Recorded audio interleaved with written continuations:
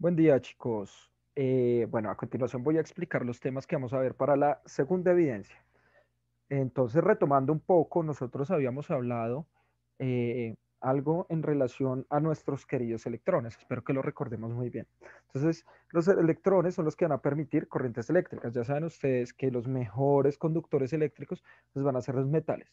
Entonces, nosotros para esta evidencia vamos a abordar un poco eh, lo que es ¿cierto? La, la corriente eléctrica, los campos eh, electromagnéticos y las formas de conducción.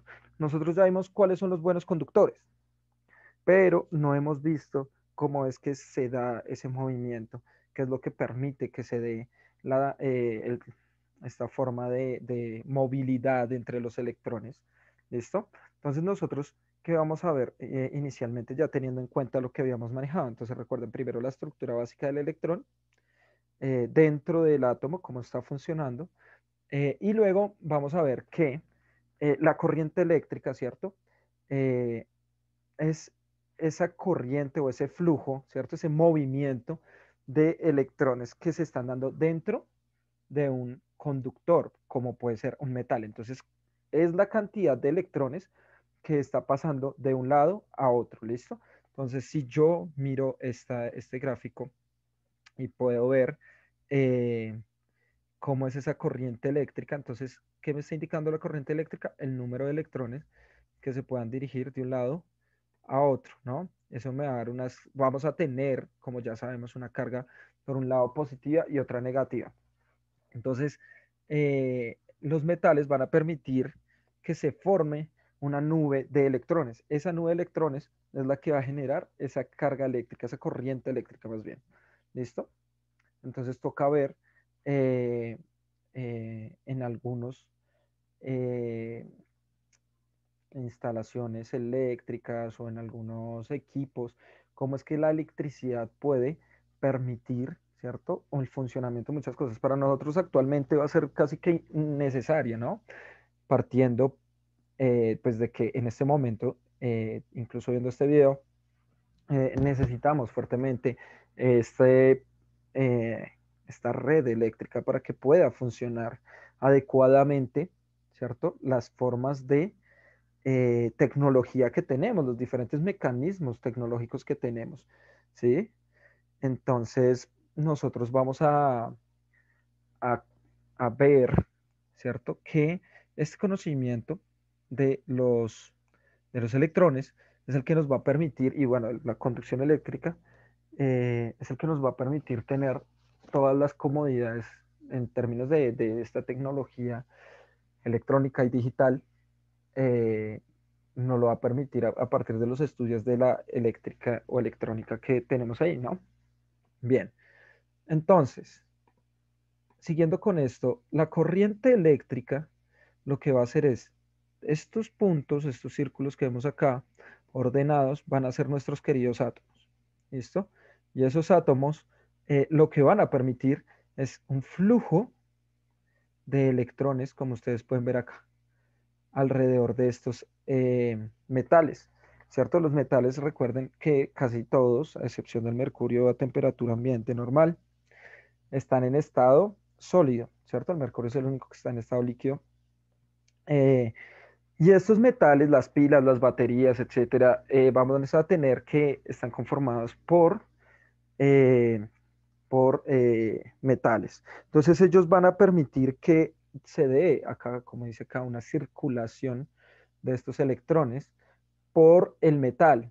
Entonces se va a producir de una carga negativa a una positiva. ¿Por qué de una negativa a una positiva? Pues porque los electrones, ¿cierto? Que están con una parte metálica cargada negativamente, ¿qué quiere decir eso? Que tiene muchos electrones, lo que van a hacer es intentar equilibrar esta carga positiva, es decir, le van a dar carga negativa a la carga positiva, entonces los electrones van a viajar. En ese viaje se produce la corriente eléctrica.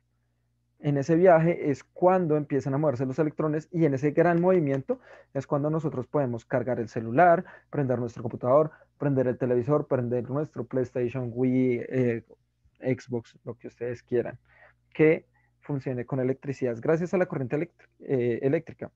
Vamos a tener momentos donde haya una mayor y una menor carga eléctrica, dependiendo de, de pues, el tipo de metal y la intensidad de electrones que estén dentro de ese metal.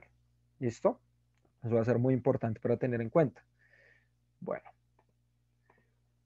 Eh, pero también hay otras formas de, eh, digamos que de generar una conducción eléctrica, ¿no? Eh, para que haya una conducción eléctrica, nosotros debemos reconocer que debe existir algo que pueda ser un conductor. Pero cuando estamos hablando de medio líquido, ¿cierto? Eh, acá dice un líquido que se quiere probar. Si nosotros queremos ver si un, eh, si un fluido o un líquido es un buen conductor, ¿cierto? Tenemos que saber que debe tener algo que se llaman electrolitos. Los electrolitos, ¿cierto? Van a ser unas sustancias, unos compuestos iónicos. ¿Qué quiere decir eso? Que tienen unas cargas positivas y negativas. ¿Como cuáles? El mejor electrolito, o bueno, el más conocido por todos nosotros, es la sal de cocina. Así es, la sal de cocina es un gran electrolito. Entonces podemos tener acá agua y le podemos aplicar eh, sal de cocina, ¿cierto?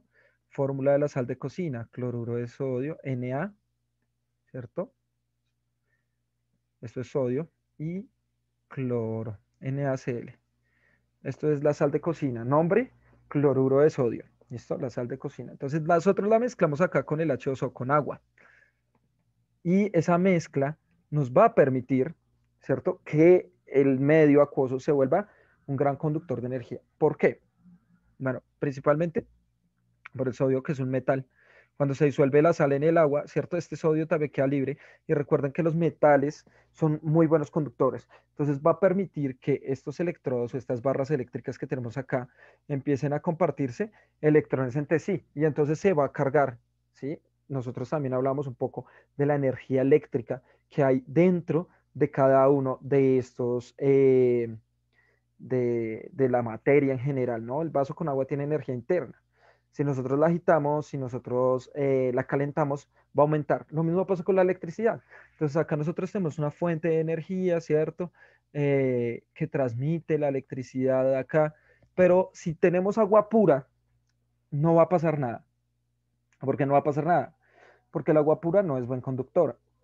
Pero si yo le agrego sal o cualquier otro tipo de sales, vamos a tener inmediatamente que se va a volver un excelente conductor eléctrico. ¿Listo?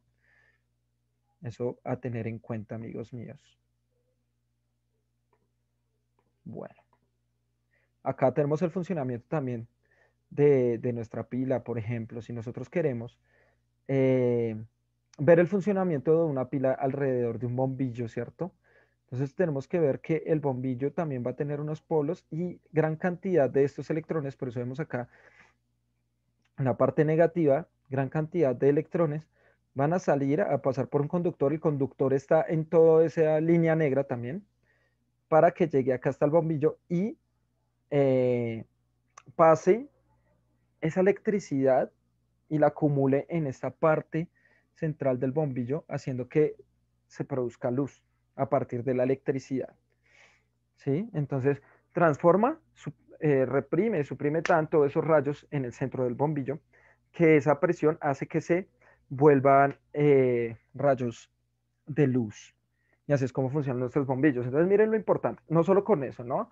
Sino también nos permite eh, ver el funcionamiento de, o bueno, que funcione, no verlo, pero sí eh, nos permite reconocer cómo es que, o saber cómo es que funcionan nuestros equipos eléctricos a partir de unas cargas positivas y negativas específicas. Ahora, Después veremos cómo es que se organizan estas corrientes eléctricas específicamente. ¿Listo? Y por último, vamos a tener, ¿cierto? Eh, los campos. Un campo electromagnético, ¿cierto? Que es una fuerza de repulsión. Recuerden que el campo electromagnético es un campo que se forma también a través de corrientes eléctricas, eh, pero que repele, rechaza, como los imanes. Tenemos un campo eléctrico que es un campo electrificado, ¿cierto? Alrededor de este y podemos ver acá las dos eh, extensiones. Cómo las ondas se van reproduciendo diferente en el campo electromagnético a partir de cada una de las antenas que tiene, ¿cierto? Pero estas toman eh, forma ondulada en el campo electromagnético, más bien en el campo eléctrico, ¿cierto? Se entrecruzan estas ondas, ¿cierto? Entre ellas y salen mucho más alargadas. ¿Listo? Eso va a ser muy importante porque va a permitir ver cómo es que, por ejemplo, en, momentos de tormenta, en momentos de lluvias o, una persona que se acerque a este tipo de, de antenas, pues puede sufrir cierto tipo de problemas, por eso es que no se puede. Así no lo veamos, está ahí, está ahí las cargas. Bueno, esto es una abrebocas, chiquillos, de lo que nosotros vamos a ver para esta segunda evidencia. Ya manejamos algunos conceptos, entonces va a ser muy fácil para nosotros. ¿Listo? Gracias. Nos vemos en clase.